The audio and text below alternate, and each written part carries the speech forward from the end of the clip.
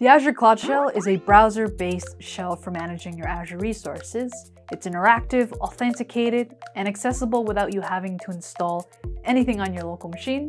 That means you can have a command line-like experience right from your Azure portal. A key to a successful cloud environment is automating the creation, maintenance, and deployment of your resources.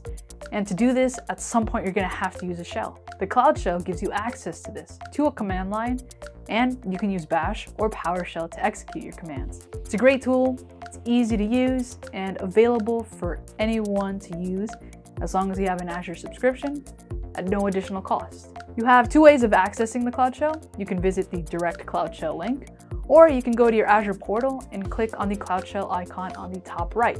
For this video, we're gonna be using that latter method. Let's dive in. Alrighty everybody, it is demo time. I am inside of my Azure portal and I'm gonna click on the Cloud Shell icon on the top left.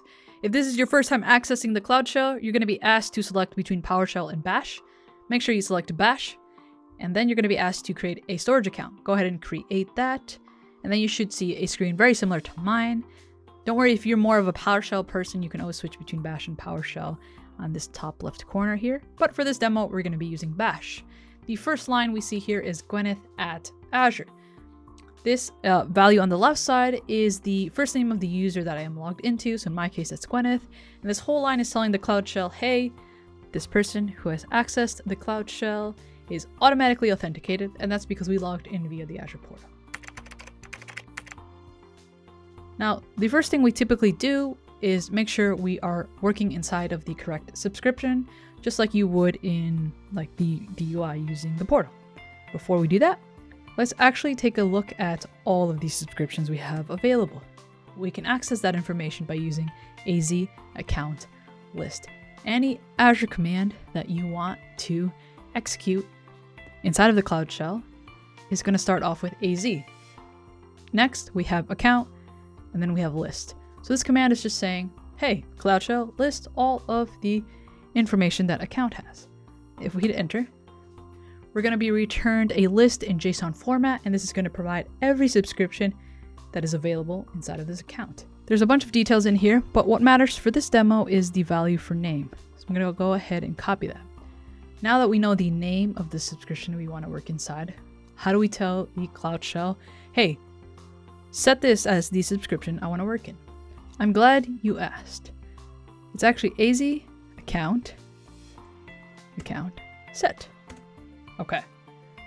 And then we're going to say dash dash subscription subscription. And then inside of single quotes, we're going to provide the name of the subscription. You can paste this in, but since it's a simple name for me, I'm going to go ahead and just type it out. Now, the AZ account is the same, so we're not going to go over that again. Instead of listing, here we're setting because we're applying a change. And next we have this dash dash subscription. Now you've noticed that this looks different than the other ones. This is because this is an argument, or sometimes called an option.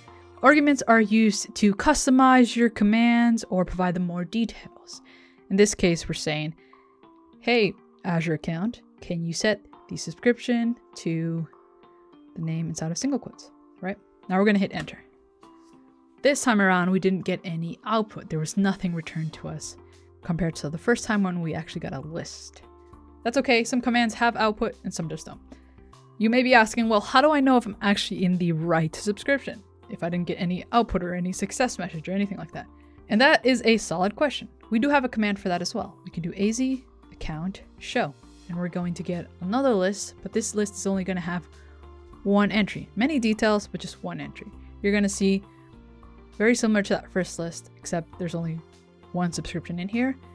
And the name of that subscription, alongside all the details, belong to the subscription that your Cloud Shell is set to work in. And there we go. From here on, any commands that we want to run, we should be ready to do so. We've accessed the Cloud Shell, used bash commands to list the available subscriptions, and we set the actual subscription we want to work in. What a day! I'll make sure to link some additional resources so you can read up on the Cloud Shell. Alrighty, Cloud Gurus, that's it for this episode of ACG Fundamentals. Go on and give the Cloud Shell a test drive and let me know how it went in the comments. Keep being awesome, and I'll see you in the next one.